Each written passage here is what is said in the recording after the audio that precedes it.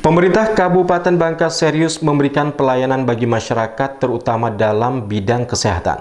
Sebanyak dua unit ambulan diserahkan kepada dua puskesmas pariwisata yang ada di Kabupaten Bangka guna memberikan pelayanan yang prima bagi masyarakat.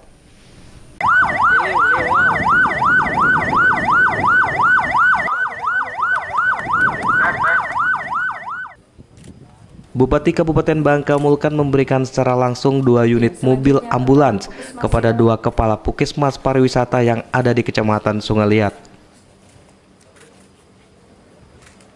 Mulkan berharap dengan disalurkan dua unit ambulan ini dapat memberikan pelayanan prima bagi masyarakat di Kabupaten Bangka untuk mendapatkan pelayanan kesehatan.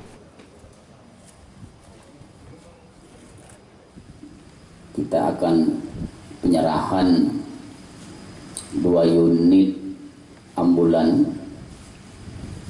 Yaitu adalah kegiatan DAK tahun 2020 yaitu dengan fasilitas ataupun sarana yang pertama adalah nanti gedung puskesmas kita.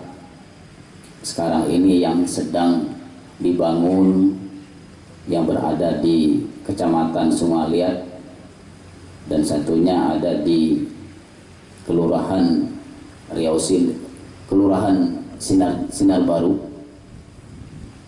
Dan dua mobil ini merupakan paketan dari pembangunan tersebut, yaitu satu dua unit pembangunan sarana puskesmas pariwisata dan juga dua unit dilengkapi dua unit dengan ambulannya.